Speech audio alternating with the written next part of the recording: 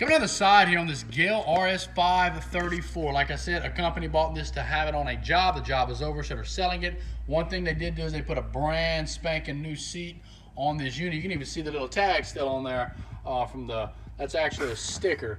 If you see what I'm talking about here, let me show you. So that's not a ripper, that's just a little white sticker. The cab itself's in great shape. A little bit of wear on the paint where your feet go, but it has the side glass. It has the rear polymer, uh, I'm sorry, uh, plexiglass. Um, and like I said, the company bought this and they went through it, put it on a job less than 100 hours ago. They just had to have it. You know how equipment is to get right now? You can't find it.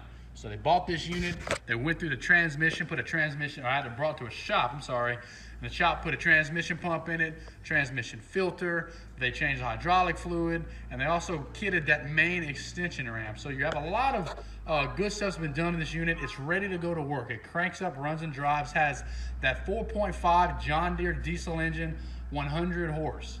So it has a great motor in it, has that auto, I'm sorry, I call it automatic transmission, but it's a forward reverse with your little speed selectors.